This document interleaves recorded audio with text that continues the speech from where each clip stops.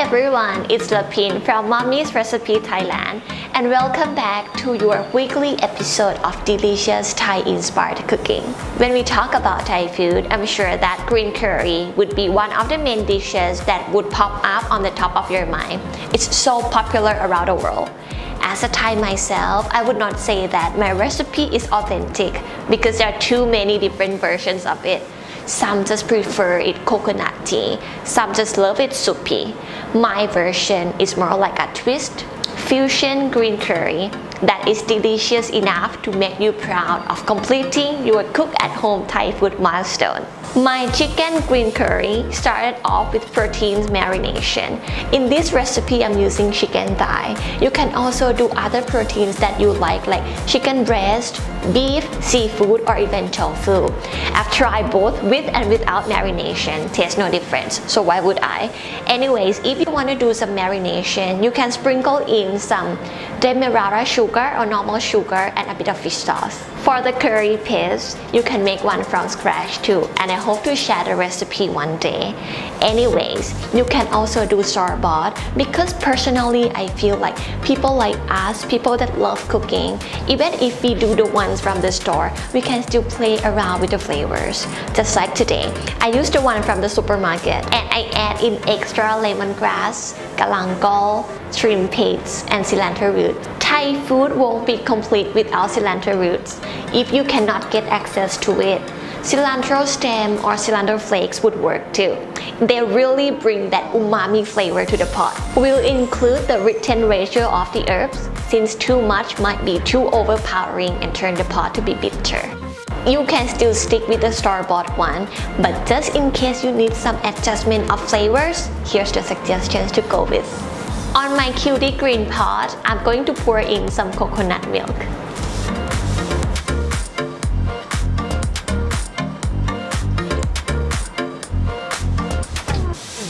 Bring the coconut milk to boil. Make sure it's overheated to get that coconut tea yummy taste. Followed with the green curry paste.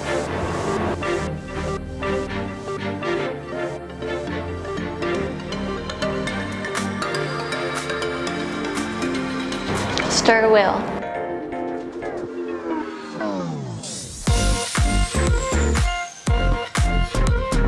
In goes the chicken.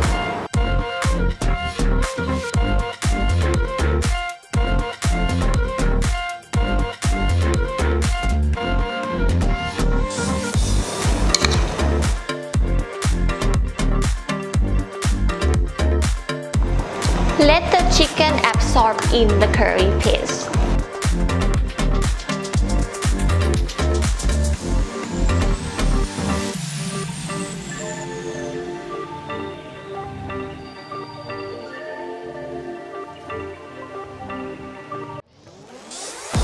Followed with palm sugar.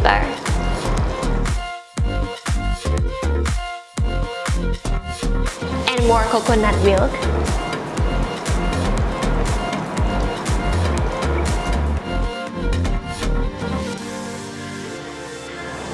Stir.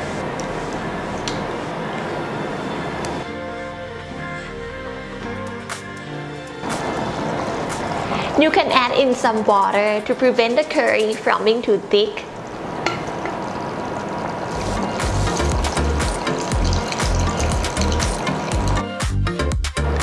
And my secret, dashi powder. You can also do dashi stock too. I love the combination of chicken and fish, so umami.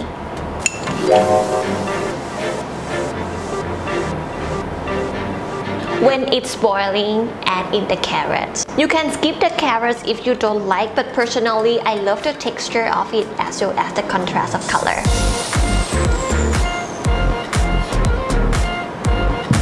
And the eggplants.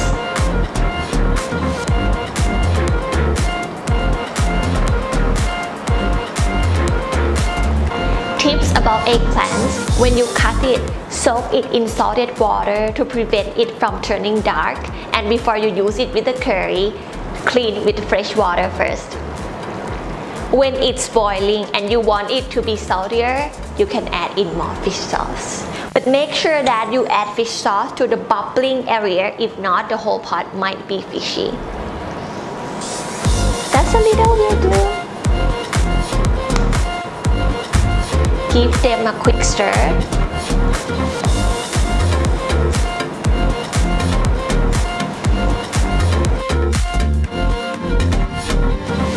But before you drop them in, you can do like this to bring out the aroma. Because they believe that the oil is in the leaf, so when you squeeze them, the oil will come out.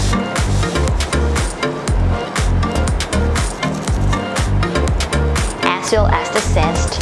Kaffir lime zest. If you cannot get access to this, you can also do lime zest or lemon zest, just to bring out that bright, fresh flavor. Just a little. Give them the last stir.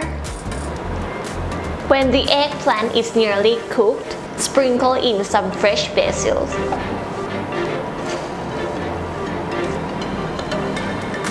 Together with de-seeded spur chili.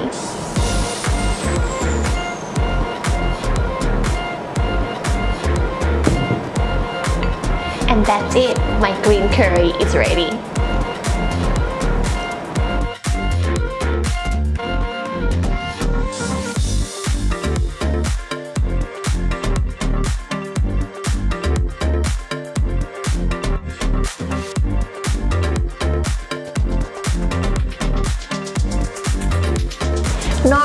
People in Thailand love having green curry chicken with rice noodles or what we'll call in Thai as khanom jeen, but you can also have it with rice alongside with other dishes.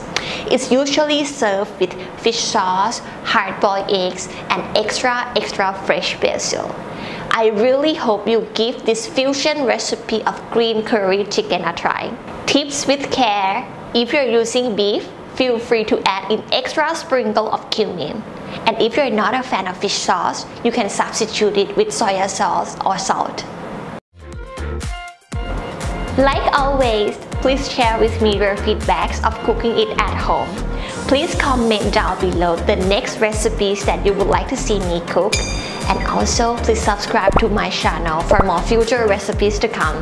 I'm Lapine, and I will see you again next time.